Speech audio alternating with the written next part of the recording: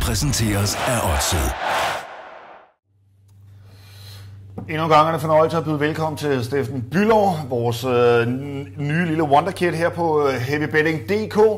Igen er det Superligaen, der er jo der, du slår dine folder, og vi skal smut til øh, Viborg, som hjemme tager imod FC Nordsjælland. Og den her gang, der er det ikke et, øh, et vinderspil, det er et lidt specielt spil. Vi skal ud på noget hjørnespark. Det kan man sige. Den skal du forklare mig. Et, et specialspil. Uh, vi skal, over, uh, vi skal på over 9,5 hjørnespark i, i Viborg Nordsjælland-kampen. Og det skal vi, fordi at Viborg har vist sig at være et kæmpe hjørnehold i, i de første 20 runder. Det hold, der får flest hjørnespark, ud over lige Brøndby og FCK. Og det er egentlig selvom de faktisk har under 50% boldbesiddelse i deres kampe. Øh, de har øh, Felmar til Rask i midterforsvar, som er altså, dødsensfarlige på hver evig eneste dødbold. Har virkelig haft chance til ja. begge to til at score. Ja. Felmar har også gjort det. Øh, og så har de to hurtige kanter. Øh, nu ved jeg godt, at Kamper han, han går lidt ind i banen fra sin position på venstre kant, men, men når de spiller med Sivebæk i højre kant, så mm. skaber det mange indlæg øh, og mulighed for hjørnespark. Man kan sige, at de har øh, Deble og Kurt i, øh, i angreb, og det er måske ikke verdens... Øh, verdens højeste angriber, men nu har de lige fået en ny krøjt ind på knap 91, ja. og hvis han bliver bragt i spil, så, så, så, så tænker jeg i hvert fald, at taktikken bliver, at man skal over kanterne mod et Nordsjælland-hold, der har Ramon Rodriguez i karantæne og spiller med to kanter, som, som er meget offensiv og generelt dårlig til at forsvare. Og hvis man kigger på det, sådan, øh, altså hvis, hvis, hvis jeg står som Viborg-træner ved sæsonstart, så er jeg jo godt klar over, at jeg kommer ikke til rent spillemæssigt at kunne hamle op med ret mange af holdene i Superligaen. Så hvad skal jeg gøre? Jeg skal selvfølgelig satse på de her dødbolde. Lige altså, så de har trænet, og de har trænet dødbolde, så det er situationer, de gerne vil bringe sig i.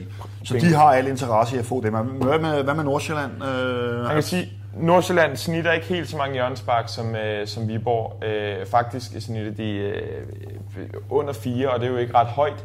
Men, men der er en lille, øh, en lille speciel ting med den her kamp, det er, at Moberg Carlsen han er i karantæne. Ja. Deres normale højre kant. Det betyder, at, at, at, at jeg forventer, at Bruninho han går ud og tager den ene kant, og så ryger, spiller, spiller de med Ingvartsen øh, helt på top, og den mand han er altså 91, og ja. meget anderledes statur end Moberg Carlsen. Ja. Og det gør måske, at, at Nordsjælland også vil tyge lidt mere over kanterne med deres offensive backs, og, og med John og Bruninho til at, til at smide nogle indlæg til en mand på 91, ja. som har vist sig god i hovedspillet. Og så, øh, så har begge hold egentlig nogle ret dynamiske midtbaner, hvor det, Nordsjælland har Lubotka, som viser god mod Brøndby, så er ja, fremadrettet. Ja. Og Vingård til at slå afleveringer. Mm. Viborg har Lukas Lea, om ikke andet. Så har de Jeppe Grønning, men han er måske lidt mere en defensiv øh, ja. uh, midtbane slider. Mm. Uh, men, men jeg synes i hvert fald, at dynamikken er der, og kvaliteten på kanterne er der. Uh, og ikke mindst et par angriber, der kan hætte. Jamen, øh, uh, Bylo, så lad os uh, wrap it up. Spillet, det lyder altså på i kampen Viborg Nordsjælland, der skal du spille på over 9,5 hjørnespark. Du har fået argumenterne her. Hvorfor du skal afsted på den front, den er fundet til odds 1,85, og det er hos Tipico. Du kan finde den her spilbrændede til 1,80. 1,80 synes ja. jeg. Og så skal man holde øje med, med Viborg til at få flest hjørne generelt på live ja. eller inden kampen, ja. hvis, hvis der er åbent spil for det. Og du vil egentlig helst have været ude på Viborg flest hjørne, men spillet er ikke åbnet nu.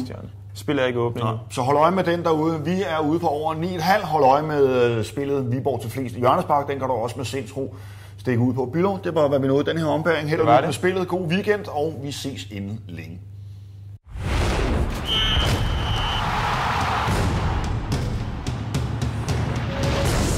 Programmet præsenteres af Odset.